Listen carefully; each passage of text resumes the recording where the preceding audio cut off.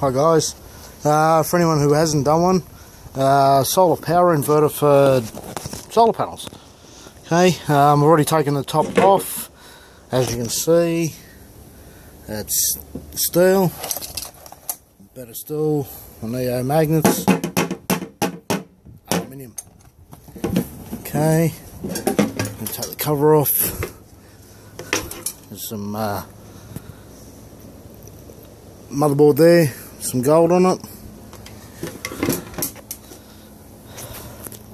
Another motherboard. Some more gold pins. A uh, couple of, I'd say, capacitors. Two, one there, one there. Now this thing is really heavy. So I did expect it to have something in it.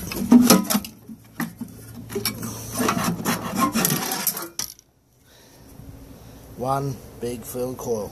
And yes it is copper. I've given it a scrape when the lacquer comes off it is copper. So aluminium there.